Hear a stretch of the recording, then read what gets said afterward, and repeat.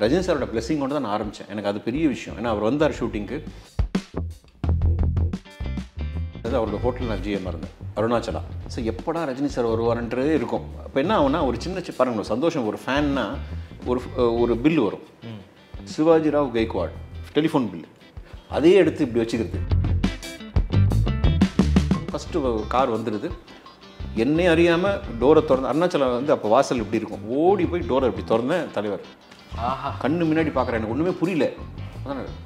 ராஜா கதவெல்லாம் திறக்கூடாது எனக்கு கை இருக்குல்ல? என்னடா வந்தோடனே திட்டு வாங்குறமே இப்போ நான் தான் ரஜினிகாந்த் நம்புறதுக்கு என்ன சொல்லணும்? சார் இந்த டைலாக் மட்டும் சொல்லுங்கள் எந்த டைலாக்கு ரஜினி சாரை வந்து ஓப்பன் நான் இப்போ நீங்கள் சொல்கிறேன் பாருங்கள் ஓப்பன் ஸ்டேஜ்லேயோ இதுலையோ பண்ண சொன்னார் இருக்கும் அது அவரோட லெவலுக்கு சொல்கிறேன் பண்ண பண்ணார் நான் ஒரு தடவை சொன்னால் சார் சார் கத்து கத்தி கத்தி கத்தி. ஸோ எங்களோட விடாமுயற்சினால நாங்கள் கண்டுபிடிச்ச ஒரு விஷயம் என்னன்னா நீங்கள் விடாமுயற்சியில் இருக்கீங்க அப்படின்னு. விடாமுயற்சி பண்ணிட்டு இருக்கேன் டேட்டெல்லாம் ஓ எல்லாமே ஓகே ஆகிடுச்சு கரெக்டாக கத்தி ஷூட்டிங் நடக்குதுன்னு அந்த டேட்டில் கூப்பிட்டாங்க. கத்தி லேட் ஆகிட்டு இருக்குன்ற டென்ஷன் இருக்குது ஸோ அதனால் யாருக்கும் டேட் மாற்றி தர மாட்டேன்னு ப்ரொடக்ஷனில் சொல்லிட்டேன். ஸோ அந்த வாரத்தை அஜித் சாரை மீட் பண்ணேன். அஜித் சாரோட க்ளோசஸ்ட் ஃப்ரெண்டு கிட்டத்தட்ட ஒரு ஆர்ட் டைரக்டர் ஒரு ஆர்டிஸ்ட் ஹீரோன்ற மாதிரியே பழக மாட்டாங்க. ரெண்டு பேரும் பக்கத்து பக்கத்தில் உட்காந்துருக்கு தோல் மேலே கை போட்டுக்கு தான் இப்போ அவர் இழப்பு வந்து சாதாரணமாக ரொம்ப அவரை எனக்கு தெரிஞ்சு பிரேக் பண்ணியிருக்கோம் அஜித் சாரை பிரேக் பண்ணியிருக்கோம் டெஃபினட்டாக பிரேக் பண்ணியிருக்கோம் அரவிந்த்சாமி சார் பண்ண வேண்டிய ரோல் நீங்கள் பண்ணியிருக்கீங்க த்ரீ படத்தில். அருண்சா சார் மட்டும் இல்லை brother JP sir Aadukalam Naren. இவங்கெல்லாம் அப்பாக்கா யோசிச்சு வச்ச ஆர்டிஸ்ட் சீரியல் பண்ணிட்டு இருக்க பண்ணிட்டு இருக்க திடீர்னு ஒரு கால் வந்து ஒன்றரை பார்லேருந்து ஒன்றரை பார்ல நான் எந்த கம்பெனின்னு யோசிக்கிறேன் ஒன்றரை பார்லும் பேசுவோம் சார் தனுஷ் சார் ஹைதராபாத் போகிறாரு போகிறதுக்குள்ளே உங்களை பார்க்கணும். இமீடியட்டாக வாங்கணும் கிடச்சிச்சுனோன்னா என்ன பண்ணுறது எனக்கு தெரியல. ரொம்ப எக்ஸைட்டட் தனுஷ் சார் முன்னாடி கத்த முடியாது. வெளியே வந்து கத்த முடியாது. வாசலுக்கு வந்து ஒரு கற்று கற்றுனேன் யாரும் இல்லைன்னு நினச்சிட்டு கத்துனா ஃபுல்லாக டிரைவரில் இருந்தாங்க. சார் என்னாச்சு சார்? என்னாச்சு என்னாச்சு? ஒன்றும் இல்லைப்பா ஒன்றும் இல்லைப்பா.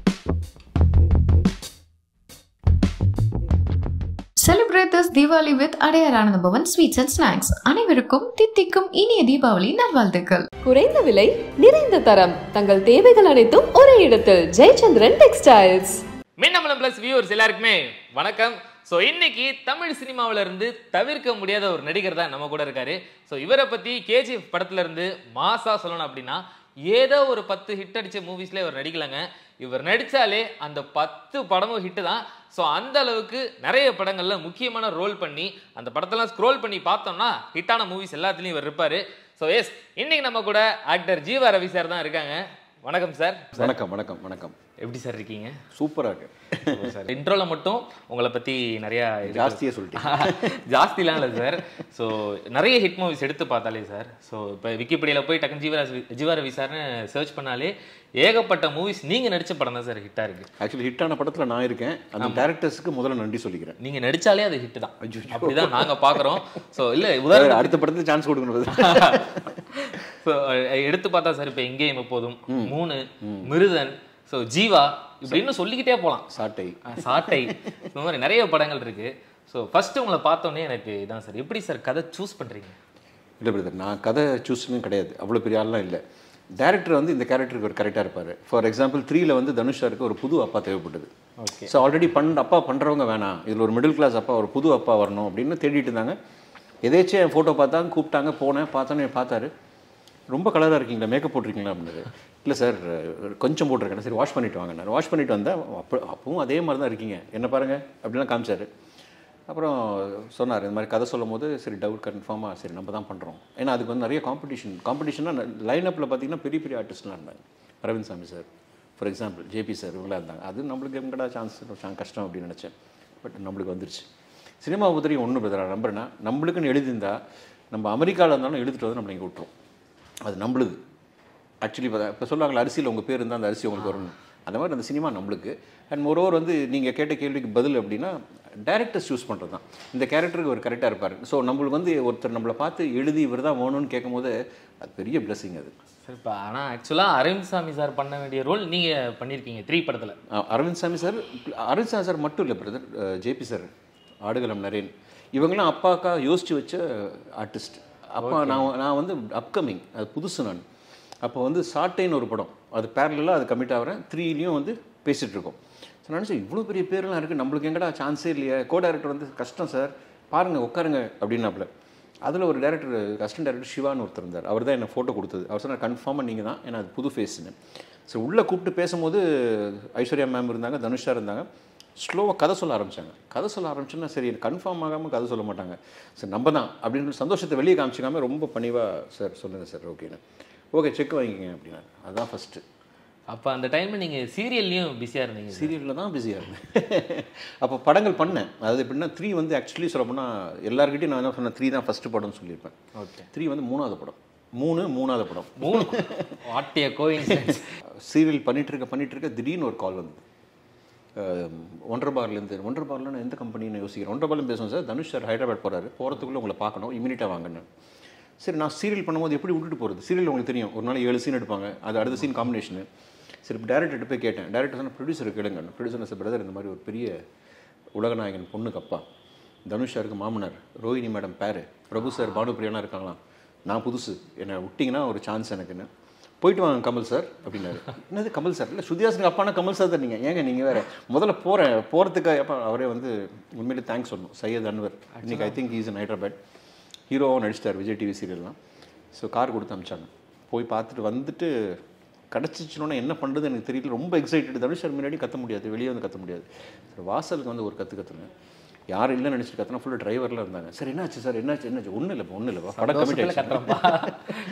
கமிட் ஆயிடுச்சுப்பா சுதிதாசன் அப்பா தனுஷ் சார் நான் உள்ள அப்படி வர சீரியலில் எல்லாம் கைத்தட்டி கமல் வணக்கம் வணக்கம் கமல்னு ஒரு முப்பது பேர் அட் அ டைம் தட்டினா எப்படி இருக்கும் பிரதர் ஸோ அந்த சந்தோஷம்லாம் சான்ஸே இல்லை இதெல்லாம். ஸோ பெரிய மூமெண்ட்டா பெரிய மூமெண்ட் ஓகே சார். ஏன்னா கதையோட லைனை விட கேரக்டர்ஸ் லைன் வந்து ரொம்ப பெருசா இருக்கு.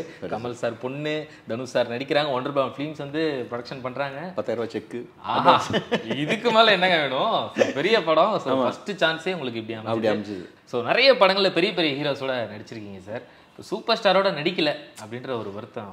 அதுக்கு அது பெரிய வருத்தங்க. சூப்பர் ஸ்டார் ஏன்னா நம்மளுக்கு ஒருத்தர் பிடிக்குது அப்படின்னா அவங்களோட போய் இன்னும் ஒரு ஷாட் பண்ணால் கூட நம்மளுக்கு ஆஹா அப்பா. பக்கத்தில் நின்ட்டோம் ஃப்ரேமில் பெரிய ஸ்க்ரீனில் பார்க்கும்போது ரஜினி சார் நிற்கிறேன் நம்மளும் நிற்கிறோம் அப்படின்ற மாதிரி அந்த குறை இருந்துக்கிட்டே இருக்குது அண்ட் மோரோவர் வந்து ஒவ்வொரு படமும் சரி நான் நினைப்பேன். கொ- ஒரு ஃபோன் வராதா? ரஜினி சாரோட பண்ணோம். அது- ஒரு ட்ரீம் இருந்தது அதுக்கு ஐ திங்க் கூடிய சீக்கிரம் அது ஃபுல்ஃபில் ஆகும். கண்டிப்பா நடக்கும் சார் Thank ஸோ அடுத்த தலைவர் படத்துல ஸோ ஜீவரவி சார் இருக்காரு அப்படின்ற அப்டேட் நீங்க வந்து நம்ம சேனலுக்கு இன்டர்வியூ கொடுப்பீங்க. அது சீக்கிரமா நடக்கும் சார் அதுக்கு நடந்தால் ரொம்ப சந்தோஷம். எனக்கு என்னன்னா ஒன்றே ஒன்று தான் நான் வேண்டது என்னன்னா நல்ல ஹெல்த் அவருக்கு கடவுள் கொடுக்கணும். இன்னும் நிறைய படங்கள் அவர் பண்ணணும். டென்ஷன் இல்லாமல் பண்ணும்போது ஏதாவது ஒரு படத்தில் நான் சாரோட பொண்ணு படத்தில் நடிச்சிட்டேன். அது ரஜினி சாரோட blessing கொண்டு தான் நான் ஆரம்பித்தேன் எனக்கு அது பெரிய விஷயம். ஏன்னா அவர் வந்தார் ஷூட்டிங்க்கு லிங்கா நினைக்கிறேன்.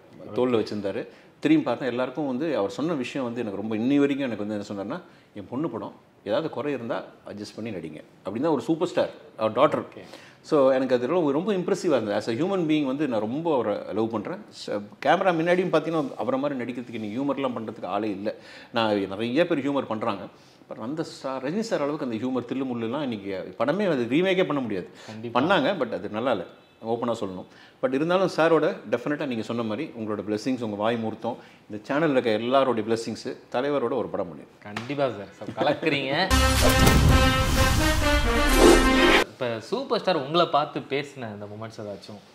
ஃபஸ்ட்டு நான் அவர்கிட்ட பேசினது அவரோட ஹோட்டல் நான் ஜிஎம் இருந்தேன். அருணாச்சலா. ஆக்சுவலாக பார்த்தீங்கன்னா ரஜினி சார் ஹோட்டல்னு சொன்னதுக்கப்புறம் நான் அப்போ ஹோட்டலில் தேர்ட்டின் இயர்ஸ் நான் ஜென்ரல் மேனேஜர் சரி இந்த ஹோட்டல் நம்ம ஜிஎம் வேகன்சி இருக்கு போகலாம் அப்படின்னு போய் கிடச்சிருச்சு. ஓகே லதா மேம் தான் அது பார்ப்பாங்க. ஸோ எப்படா ரஜினி சார் வருவாருன்றதே இருக்கும். இப்போ என்ன ஆகும்னா ஒரு சின்ன பாருங்க ஒரு சந்தோஷம் ஒரு ஃபேன்னா ஒரு ஒரு பில் வரும். சிவாஜி ராவ் கெய்க்வாட் டெலிஃபோன் பில் அதையே எடுத்து இப்படி வச்சுக்கிறது. அப்போல்லாம் மொபைல் ஃபோட்டோ எடுக்கிற மொபைல்லாம் கிடையாது. அப்படியே இல்லை ஃபோட்டோ எடுத்துருப்பேன் நான். அப்படியே வச்சுக்கிறது அது அப்படியே த தொட்டுட்டே இருக்கிறது அப்புறம் வந்து வீட்டிலேருந்து மேனேஜர் வந்து வாங்கிட்டு போயிடுவாங்க. இந்த மாதிரி பில்ஸ் எல்லாம் எங்ககிட்ட தான் வரும். நான் ஜிஎம்னால அப்போ வந்து ஒரு நாள் சொல்கிறாங்க ரஜினி சார் வராரு. சாட்டர்டே ஈவினிங் வராரு. கூட வந்து அவரோட அனிருத்தோட ஃபாதர் ரவி சார் வராரு. ஓகே. நீங்கள் ரூம் அரேஞ்ச் பண்ணுங்கள் அவங்க ஃப்ரெண்ட்ஸ் எல்லாம் பெங்களூர்லேருந்து வந்திருக்காங்கன்னா ஃபஸ்ட்டு கார் வந்துடுது என்னை அறியாமல் டோரை திறந்து அருணாச்சலம் வந்து அப்போ வாசல் இப்படி இருக்கும். ஓடி போய் டோரை இப்படி திறந்தேன் தலைவர். ஆஹா. கண்ணு முன்னாடி பார்க்குறேன் எனக்கு ஒன்றுமே புரியல. ராஜா கதவெல்லாம் திறக்கூடாது எனக்கு கை இருக்குல்ல? சொன்னடா வந்தோடனே திட்டு வாங்குறமே அப்போ ஸ்வீட்டாக தான் சொன்னார். வாங்க அப்படின்னாரு. இப்படி போகலான்னுக்குள்ளே ஆறு படி ஏறிட்டாரு. டக் டக் டக் டக் டக்னு ஏறி மேலே போய் நான் உடனே ரூம் சாவி பசங்க வச்சுருந்தாங்க.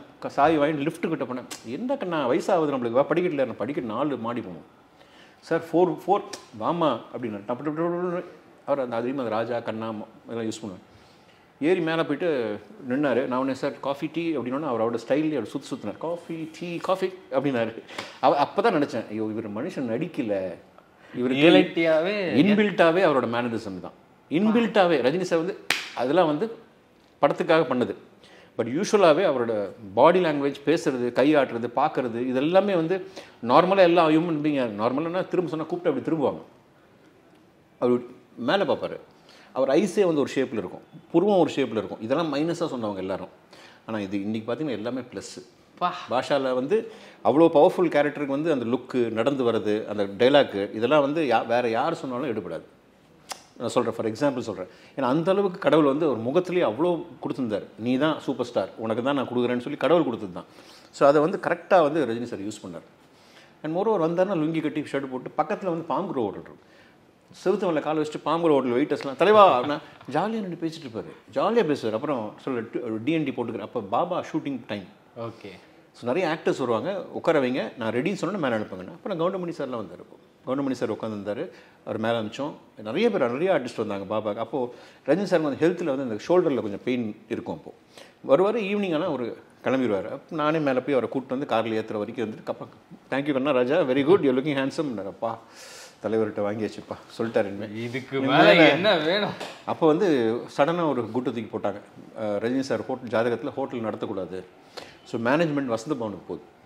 Okay Vasantha Bhavan take over பண்ணாங்க. So Vasantha Bhavan take over பண்ணும்போது ஐயோ தலைவர்லேயே நம்ம வேலை செய்யணுமா வேணாமா? அப்புறம் அவங்க கூப்பிட்டு போய் லதா மேம்லாம் சொன்னாங்க நீங்கள் இருங்க. இல்லைன்னா என்னோட கேக் ஷாப் இருக்குது அங்கே வருதுனா கூட வேணாம். இல்லை மேடம் நான் இருக்கேன்னு சொல்லி இருந்தேன். ஏன் இருந்தேன்னா அந்த அட்லீஸ்ட் அவர் போனால் கூட சாட்டர்டே சாட்டர்டே ரஜினி சார் வருவாருன்றதுக்காக இருந்தேன். அதில் ஒரு இன்சிடென்ட் நடந்துச்சு. வந்து கீழே வந்து அருணாச்சலில் கீழே போனீங்கன்னா ரெஸ்டாரண்ட் இருக்கும். பார் மாதிரி செட்டப்பு டைனிங் எல்லாமே இருக்குது அப்போ வந்து வெயிட்டர் ஒருத்தர் இருப்பான். அவன் வந்து அடிக்கடி வந்து சொல்லுவான் நான் என் ஒய்ஃப் பயங்கர பைத்தியம்னா தலைவர் வந்தால் ஒரே ஒரு ஃபோன் என் ஒய்ஃப்டே எப்படா நான் தலைவர் போய் ஒய்ஃப்டே எப்படா பேச சொல்கிறது என்னடா பேசிகிட்டு இருக்கேன் சொல்லினே இருந்தோம் அதுக்கு அதே சமயம் ரஜினி சார் ரவி சார் இருக்கார் அடிருது அப்பா. அவங்க ஞாபகம் ஞாபகம் இருக்கான்னு தெரியாதுன்னா கோட்லாம் போட்டு நின்றுருக்கேன்.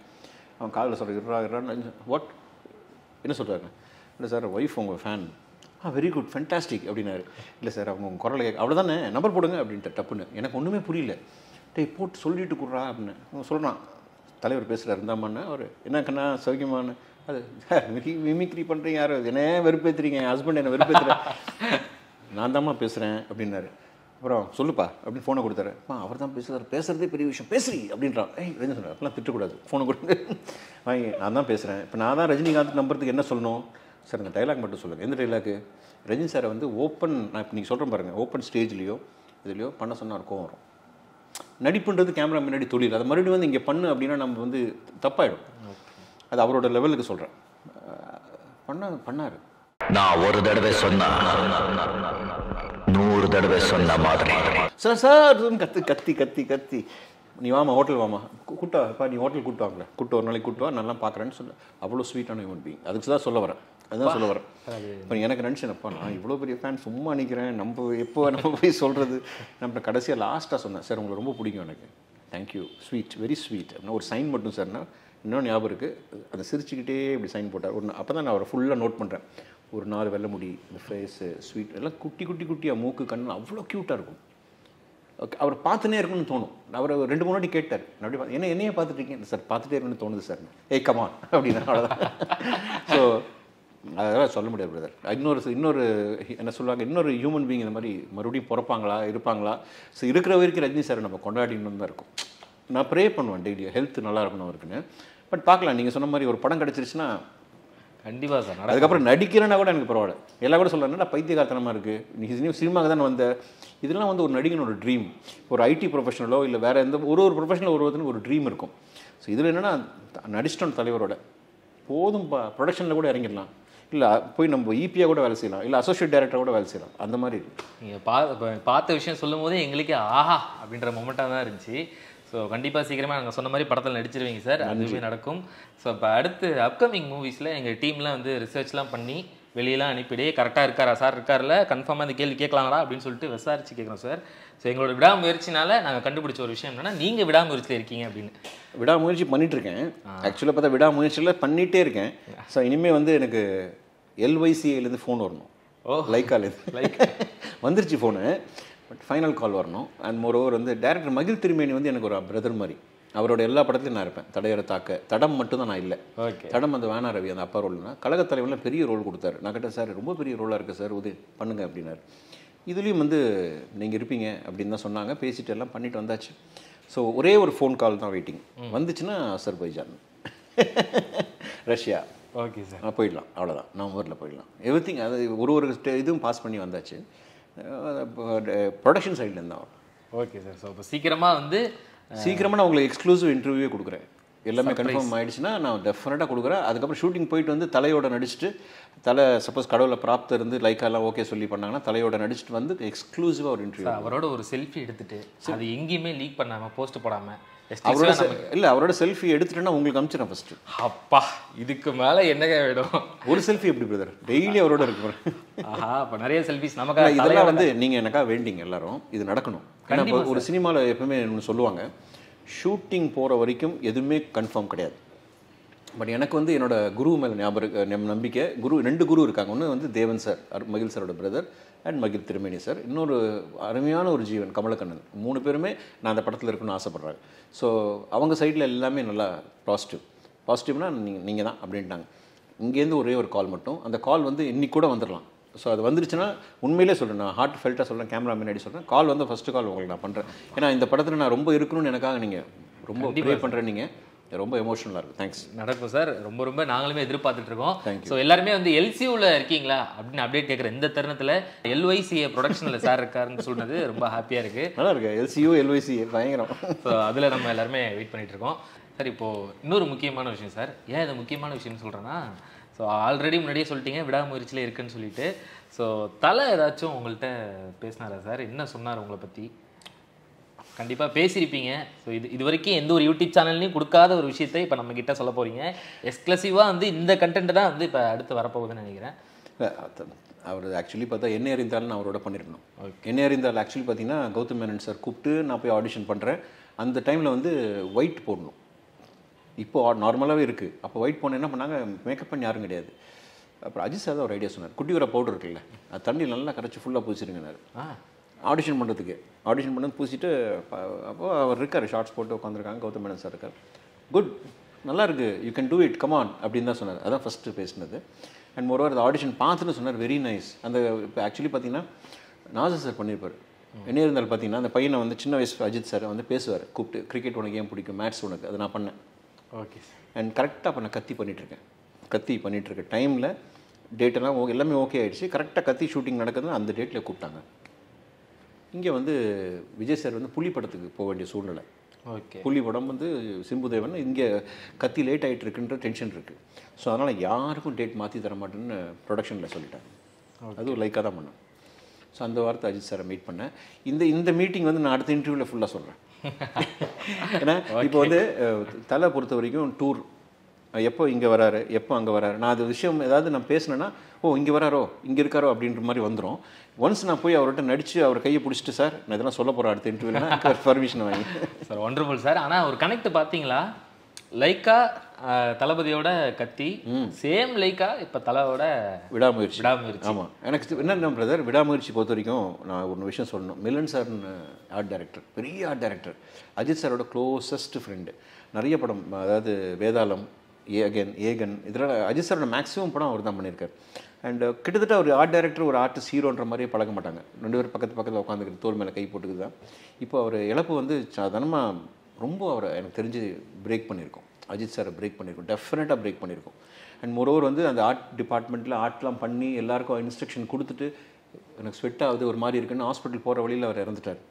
ஸோ அவங்க ஃபேமிலியை நினச்சி பார்த்தாலும் கஷ்டம் தான் and moreover as a as a unit அதாவது எங்களோட யூனிட் அதாவது மகிழ் சார் எங்களோட யூனிட்னா எனக்கு மகிழ் சாரும் இந்த அந்த படம் நான் பண்ணுறேனோ பண்ணலையோ மகிழ் சார் தேவன் சார் எப்போவுமே நான் வந்து எங்கள் யூனிட்டாக என் பிரதராக நினைப்பேன்.